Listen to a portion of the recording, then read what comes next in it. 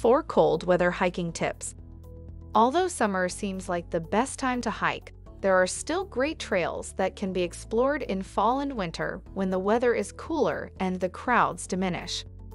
It will require more planning and preparation, but the serenity that nature offers during the winter months is well worth the effort. Here are four things to remember for cold weather adventures if you are planning on going for a hike. Pack enough clothes. Don't forget to pack plenty of clothes and layers. You can still go camping and hiking in a national park, no matter how cold it gets.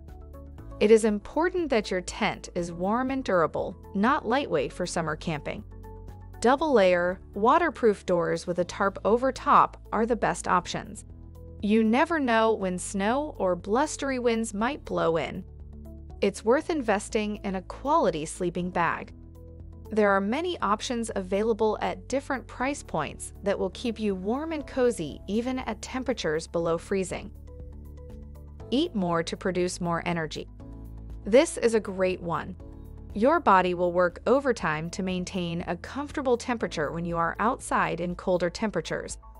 To maintain energy and strength, you will need to eat more calories, carbs, and fat.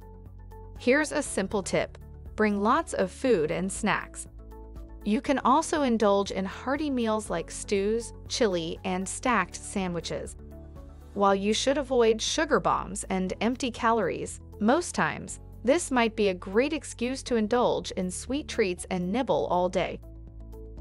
Stay dry. Hypothermia is something you should be aware of when visiting a national park during colder temperatures. It can sneak up on you even if you don't expect it, especially when there are colder temperatures and snow. Your best defense is to keep dry. Be prepared for anything, even in sunny weather. You will need waterproof layers to protect your clothes, backpacks, hiking gear, tent, and other items. Cotton is not a good choice at this time of the year. Keep your electronic devices dry. Our electronic devices are just like us in that they don't thrive in cold or wet conditions. It's crucial to keep your phone and other gadgets warm and dry, especially since we depend so much on digital GPS.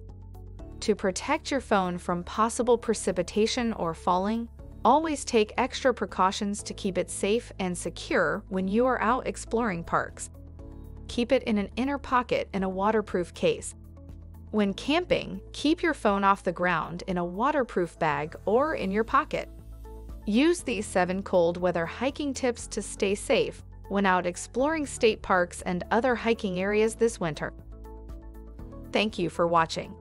I hope you liked the video. Comment your thoughts down below and subscribe to the channel for more camping tips and tricks.